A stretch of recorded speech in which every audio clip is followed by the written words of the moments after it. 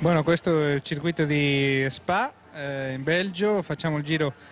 Cameron Board, questo è il rettilineo eh, del traguardo, poi arriviamo subito a una curva di 180 gradi, una curva molto stretta di prima marcia.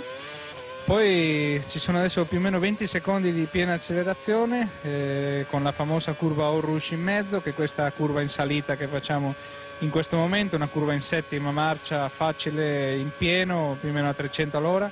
e poi continua questo rettilineo per lungo tempo fino alla curva numero 5, come dico più o meno 20 secondi in pieno acceleratore. Arriva la curva 5, 6 e 7, è una triple chicane eh, più o meno, prima destra, sinistra, adesso destra, in quinta marcia, molto veloce, più o meno a 220 km h poi arriva la curva 8, eh, una curva in discesa molto lunga a destra, eh, qui andiamo più o meno a 160 km h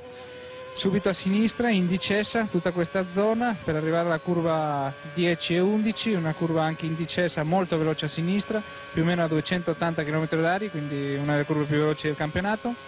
Poi arriva una chicane destra-sinistra in quarta marcia, eh, più o meno a 220-230 km h quindi anche questa una zona molto veloce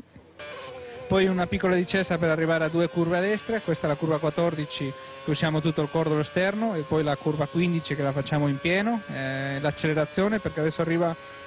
un altro rettilineo molto lungo che è tutto questo che poi finisce all'ultimissima chicane.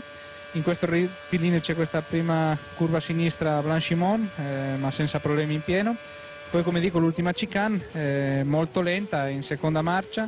eh, prima a destra poi a sinistra poi subito il traguardo, quindi circuito di altissime velocità, di curve molto molto veloci e di rettilini molto lunghi, quindi circuito uno dei più completi di tutto il campionato.